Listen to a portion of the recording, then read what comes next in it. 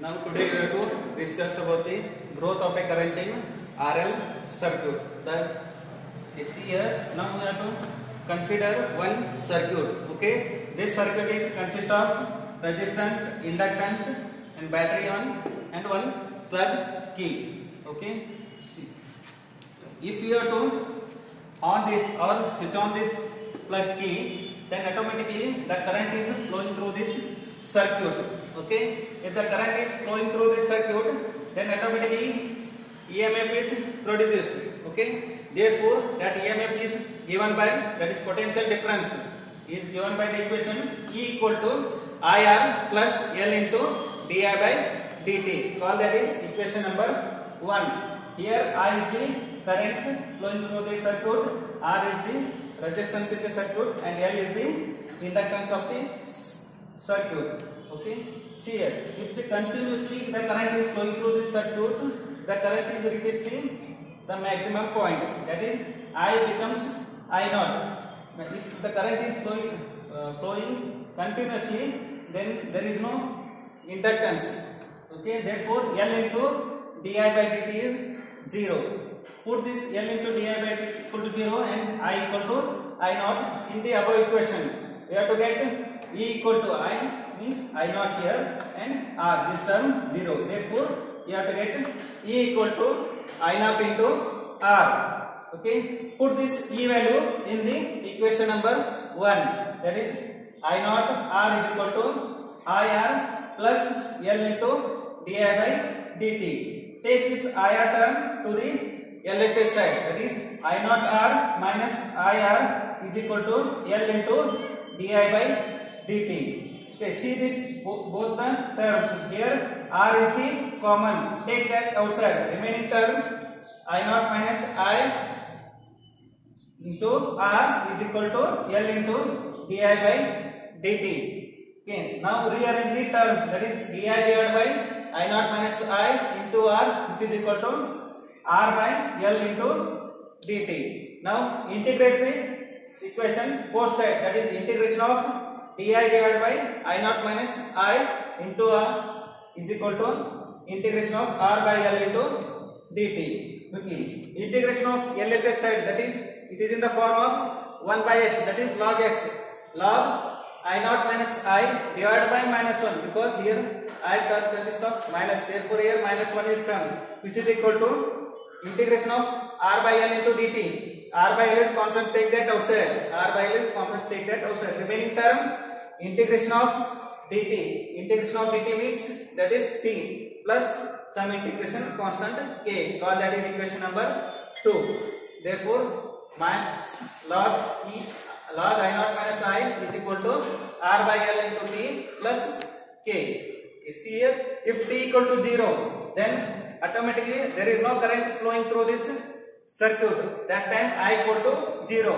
Put this t equal to 0 and I equal to 0 in the equation number 2. We have to get here t equal to 0 this, this term is 0 and I equal to 0 this term is 0. Remaining term k equal to minus log I naught. Therefore, k equal to minus log I naught to the base e. Put this k value in the equation number 2. That is minus log I naught minus I is equal to R by L into T plus k. The value of k is here minus log I naught. Therefore, minus log E I naught minus I. You can take this log term to the LHS side. Minus log I naught minus I plus log I naught is equal to R by L into T. Okay, here. Multiply the over this equation by minus sign. We have to get log I naught minus I minus log I naught is equal to minus R by L into T. Okay, here. This is in the form of log U minus log V, which is equal to log U by V. Therefore, log I naught minus I divided by I naught which is equal to minus r by l into t. Okay.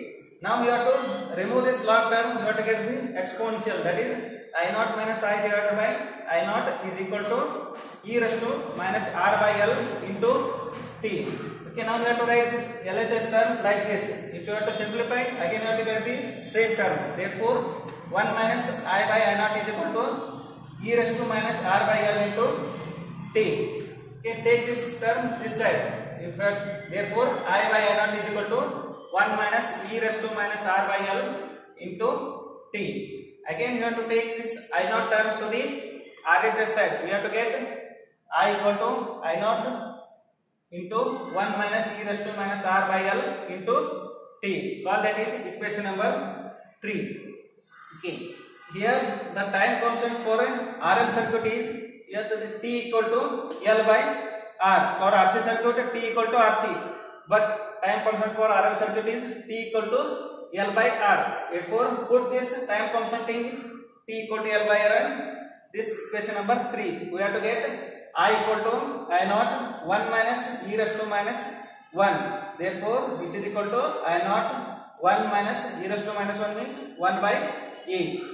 I equal to not 1 minus 1 divided by put the value of e 2.72 simplify this one that is 2.72 minus 1 divided by 2.72 therefore which gives 1.72 divided by 2.72 which gives the answer 0.632 therefore i equal to i naught into 0.632 this is the see here.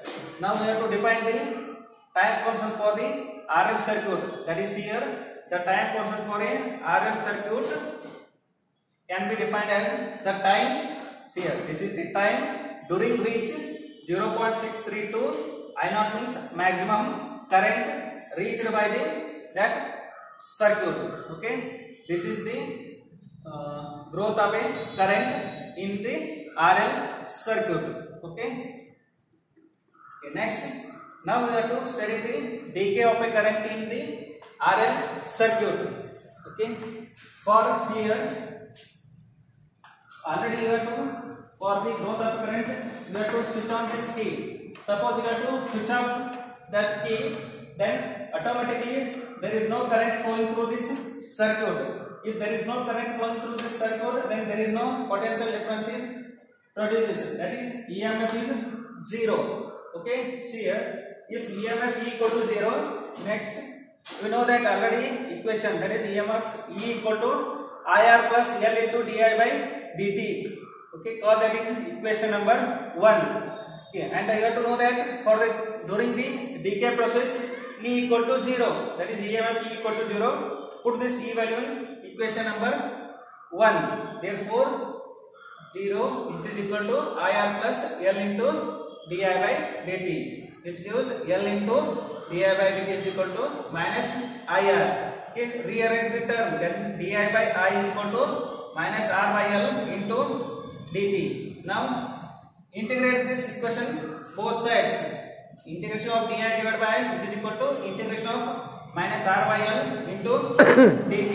Okay, integration of this term is log I which is equal to minus r by this constant take outside remaining term is integration of dt that is t plus some integration constant k all that is equation number 2 again when t equal to 0 and i equal to i naught when t equal to 0 and i equal to 0 sorry i equal to i naught then equation 2 becomes here this term is 0 this term is i naught therefore k equal to log i naught put this k value in again in equation number 2. Therefore, it gives log i which is equal to minus r by l into t plus put the k value that is log i naught. Take this log i naught term to the LHS side that is log i minus log i naught is equal to minus r by l into t.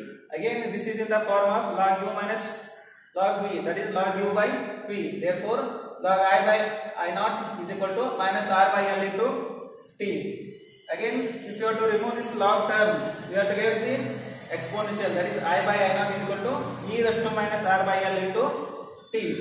That is, take this i naught to the RHS side. We have to get i equal to i naught into e raised to minus r by l into t. And put the, the time constant value that is t equal to l by r in the RL circuit. Put this in here.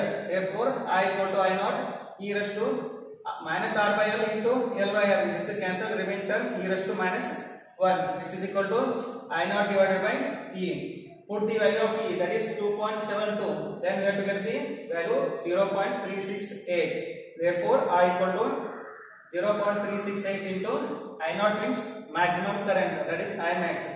Okay. Therefore the time constant for the RL circuit during which time constant for the RL circuit during which 0.368 maximum current here decrease in the circuit because it is decay process therefore the maximum current is decrease in this circuit okay next here the time constant for the RL circuit is depends on only L and R that is inductance and resistance okay when when L is maximum and inductance is maximum the time constant is maximum because they are directly proportional if R is maximum and T is if R is maximum then T is minimum because they are inversely proportional to the each other okay now you have to show the growth of a current decay of a current by graphically see here then the current is